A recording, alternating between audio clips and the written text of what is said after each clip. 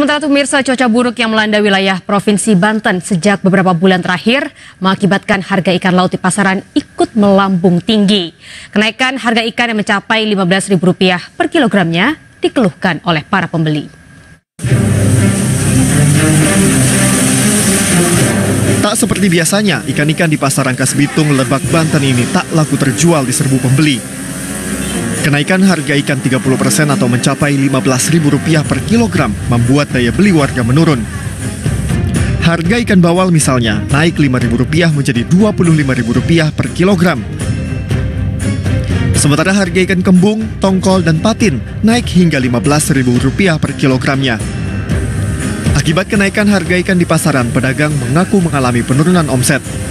Iya, kadang-kadang pengennya sih yang murah pembeli mah ya kalau harga naik ya gimana omset pendapatan menurun si cuaca seperti bulan-bulan sekarang di mana hujan relatif tinggi kemudian juga itu bisa mempengaruhi aktivitas eh, kegiatan penangkapan ikan yang dilakukan oleh para nelayan.